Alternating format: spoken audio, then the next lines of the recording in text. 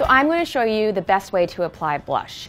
With Asian skin, it tends to have a yellow undertone. So what I like to do is go to the other end of the spectrum and pick something kind of bright and cool, just to break up the monotony of the color palette.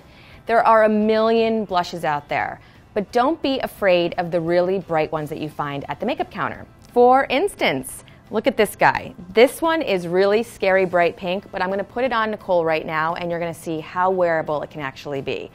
And it can make you look younger.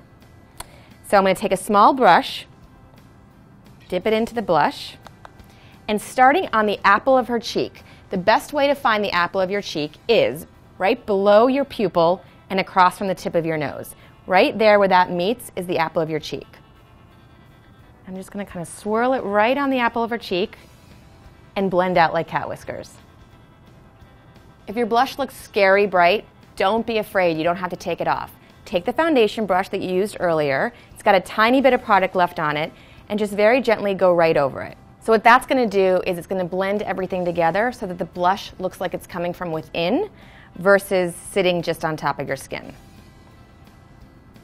So by putting the blush right on the apples of the cheek, it just gives a really natural flushed look. And don't be afraid to go bright. It really is a beautiful complement to yellow undertones of your skin.